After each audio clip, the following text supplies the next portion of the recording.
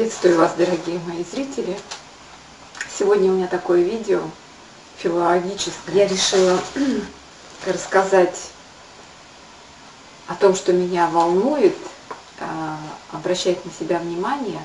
Ну, я уже не так волнуюсь, как, например, 20 лет назад, когда я приехала сюда, в Актюбинск. Меня поразило а, употребление некоторых слов неверное, но очень устойчивое и характерное для данной местности а, слов русского языка. В общем, я не хочу сказать, что только в Актюбинске так разговаривают. А,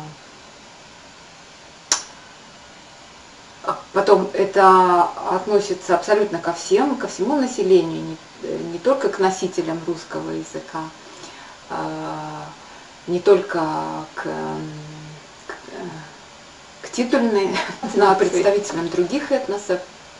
В общем, а, это вот именно носит местный характер, местностный. И так я а, тут э, насобирала 10 ошибок пока, ну так вот на обум прикинула, вот сразу что вспомнилось, то и написала. Первое слово, которое меня повергает в шок, и оно как-то неискоренимо, это слово «коридор». В общем, а, то есть слово «коридор» уже, как мне кажется, становится нормой. А, ну, причем, да, конечно, а, интеллигентные, образованные люди, ну, то есть образованные это не обязательно интеллигентные, интеллигентные, скажем, люди, они так не говорят, но мне даже ухо уже не режет это слово. Второй и третий пункты, а, наверное, носят профессиональный характер. Но я впервые такое ударение услышала здесь. Э, и поэтому ну, очень долго связывала с, именно с Актюбинском, с этой местностью. А потом, когда мне разъяснили, что это вообще, э, говорят, профессионалы этого дела, все, все ставят такое ударение, но я не знаю, мне кажется, у нас в Улан-Удэ так не говорят. В общем, это слова пеня и недоимка. Не то чтобы я слово пеня не слышала раньше, я слышала очень много, я с детства это слово знаю, а, знаю о чем это. И я не могла представить, что можно поставить такое ударение в слове из двух слогов, можно выбрать неверное ударение. Почему, по какой причине? А, что здесь тюркское влияние, где ударение падает на последний слог. А, тогда чем объяснить слово «недоимка», что тут сельскохозяйственное влияние, что это, может быть, связывают со словом «доить», э, не знаю, или всего так. А, но, тем не менее, да, здесь, именно здесь я услышала «пеня» и «недоимка». Ну и на, всяк, на всякий случай произнесу правильно «пеня», и недоимка. Ну, надо посмотреть, кстати, в словарь. Кстати, я в словарь не заглядываю, потому что ну, я уверена, что я права. Э, ну, не, потому что мне кажется, что это общеизвестно. Но не здесь. На четвертом месте а такая ошибка. И она тоже, я так э, подозреваю, что она свойственна не только Актюбинску, не только Казахстану, но и ну, вообще во всем русскоговорящем мире – а, наверное, эта ошибка есть местами кое-где. И это когда гординами называют карнизы. Ну, то есть то, на что мы вешаем шторы, а, здесь называют гординами. И причем вот поголовно, и даже те люди, которые говорят, да-да, гордины вообще-то это гординное полотно, это шторы, собственно шторы. А то, на что их вешают, это карнизы тем не менее, говорят, но все равно, а здесь все говорят гордины, и они не поймут, если вы скажете карнизы. Ну, приходится подстраиваться, чтобы тебя поняли. Так, пятое. Я написала борщ и щи, такой пункт. А, в общем, я столкнулась с тем, что здесь а, слово борщ а, очень хорошо знают, и все его любят, но совершенно не знают, что такое щи. Теперь я усомнилась, думаю, может быть, я не то называю щами. Ну, то есть слово щи вообще здесь непонятное и вызывает э, у человека полное непонимание, что это. А, очень часто я не, не говорю за всех, за всю Одессу, за, все, за весь Актюбинск. А, обо всем Актюбинске, конечно, я знаю. Но вот тем не а, менее, ну, по крайней мере, ну, я скажу, что там, где я выросла, в Улан-Удэ, э, борщом называли капустный суп со свеклой, а если там нет свеклы, то это были щи. Может быть, это тоже неправильно, да, потому что щей существует множество рецептов. А, ну вот как бы в э, советской кулинарии, в столовской, в общепитовской, щами назывались, назывался, да, такой суп. Суп с капустой – без свеклы. Когда я э, в Москве, ну вот у нас есть наш друг Паша, который живет в Подмосковье, и а, у него мама украинка, и во, во всем во многом, во всяком случае, языково, а, он больше мамин сын, то есть ну, украинские, некоторые особенности украинского произношения, лексикон у него во многом имеет украинское влияние. А, он говорит, ну это говорит, это говорит так по-украински, ну я сказал, он сказал, так вот, он говорит, это так по-украински, а, называть борщом ну, капустный суп. Я ну, и это от него так э, странно слышать, потому что а, папина татарская кровь в его внешности переборола мамин. То есть он выглядит как татарин, очень красивый такой парень. Но ментально он ближе к украинцам. Так, и также украинское влияние, я думаю, у нас в произношении слова плотина – Плотина здесь произносит поголовно, я не слышала другого ударения, произносит плотина. Я сначала даже не поняла, о чем это плотина, потому что ну, есть слово платина, есть слово плотина. А, ни в том, ни в другом слове ударение не падает на последний слог, но я вообще не поняла, что такое плотина. А, и ну, здесь вот говорят, надо съездить на плотину, ковры постирать.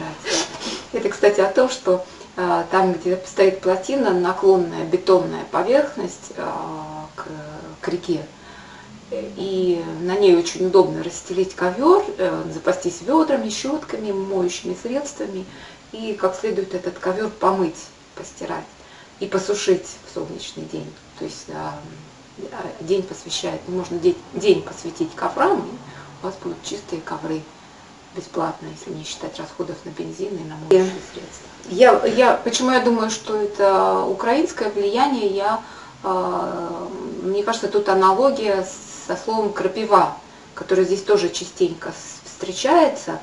Э, я сначала не могла понять, откуда такое ударение, а потом, когда услышала, что так люди говорят от наших украинских блогеров, я поняла, что все правильно, это, это все правильно, но только по-украински, видимо. Теперь, значит, вот. по поводу плотины, теперь слово плотит. Что такое плотит? Уплочено, оплочено. Ну, вот это мне так режет ухо. А, я вообще не понимаю, как можно так говорить при наличии теле- и радиовещания, где это слово можно слышать часто довольно-таки. Есть проверочное слово «плата», то есть платит, ну, тем более, что это ударное гласное платит, уплачено, оплачено. Э, тоже вот это мне совершенно непонятно, но я понимаю, что это платить. Что э, э, помимо проверочного слова есть запутывающее слово. Забыла какое. Так, ну, у меня ступор перед камерой наступает. Ну, так. еще хотела добавить, а, вскользь упомянуть, что о, слове «платить» такая распространенная ошибка, она уже здесь будет 11, и, в общем, я ее э, вставлю в другое видео, но здесь упомяну. Э, есть ли разница, а, ну, кому режет ухо фраза «оплатите за проезд»? Я...